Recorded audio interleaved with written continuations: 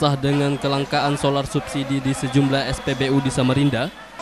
Pada Kamis siang ratusan sopir truk yang tergabung dalam Aliansi Gabungan Sopir Samarinda berunjuk rasa di depan Mapolresta Samarinda.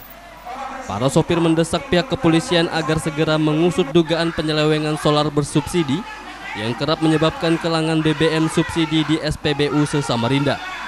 Dalam aksinya, para pengunjuk rasa membawa puluhan truk yang diparkir di lajur jalan bawah flyover di depan Polresta Samarinda sehingga sempat menimbulkan kemacetan arus lalu lintas.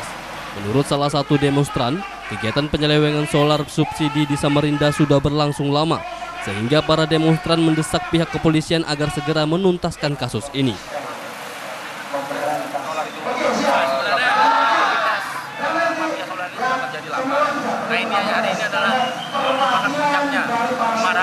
Nah para sopir yang sudah lama-lama di SPP tapi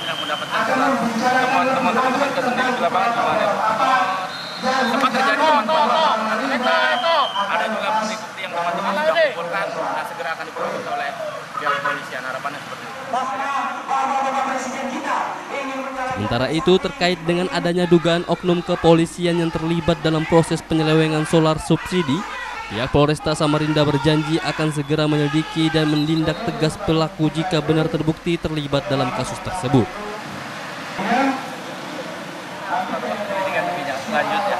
Nanti kita akan lakukan koordinasi dengan unit propam kami yang ada di Polresta Samarinda dan akan kita tindak lanjuti kalau memang hal-hal yang disampaikan para supir tadi ditemukan dari.